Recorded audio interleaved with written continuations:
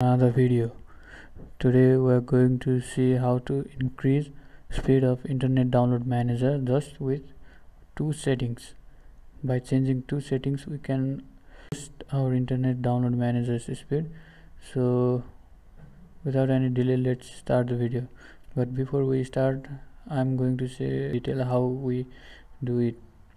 The speed process is inside the settings of internet download manager and we just have to increase the power of settings which was set below the normal level. So let's demonstrate you with uh, live download. I will use NCS music to download so let's click on this and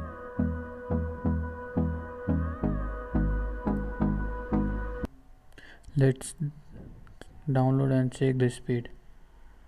So the file is 14.88 MB and it's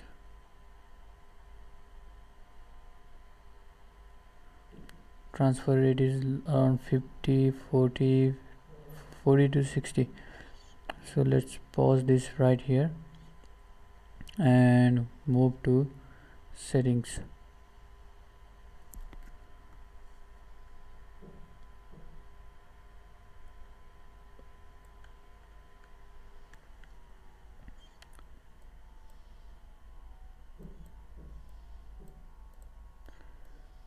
so you can see the current transfer rate or download speed is 48.724 kbps now to change this click on downloads option and then go to options.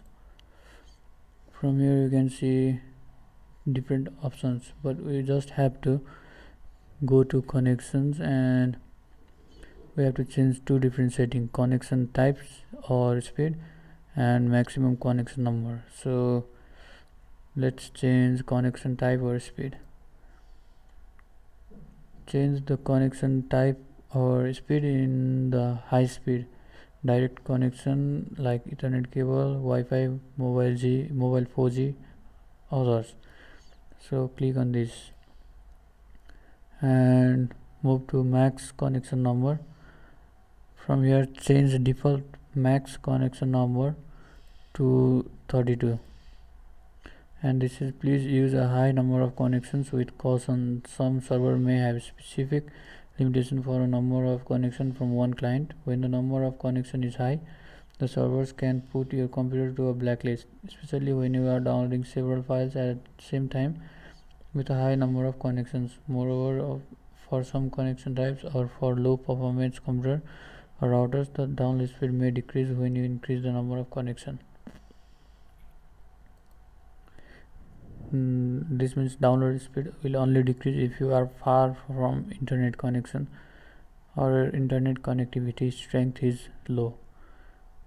So now let's click on ok. And and let's see does this setting really worked or not? So I'll just start downloading and you can see just mbps download rate has increased more than 10 times. So thank you guys. See you in the next video. And don't forget to comment in the comment section if this works or not for you. And if you have any better suggestion than this just write it in the comment section and thank you